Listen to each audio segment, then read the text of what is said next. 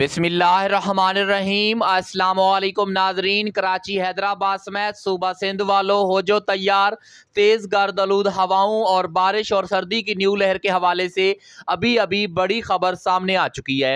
इस वक्त की ताज़ा तरीन रिपोर्ट के मुताबिक सिंध के चंद मगरबी, शुमाली और चंद बालाई इलाकों में हल्की बारिश का सिलसिला जारी है। मजीद, आज के दौरान सिंध के कौन कौन से इलाकों में बारिश के इम्कान है?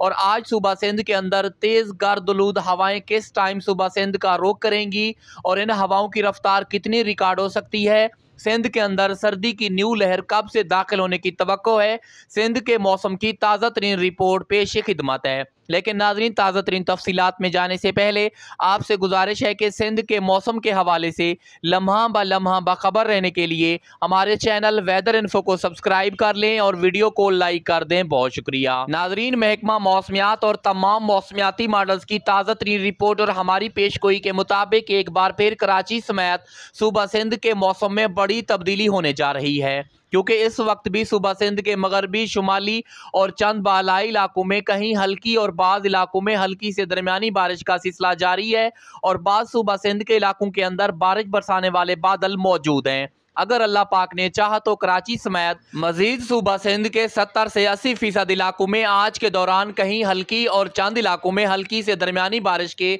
इम्कान बन सकते हैं। और नाजरीन, हमारे मुताबिक आज शाम रात से कराची समेत सूबा सिंध के मुख्तलिफ़ इलाकों में तेज़ दलूद हवाओं के जखड़ भी चलने का इम्कान है।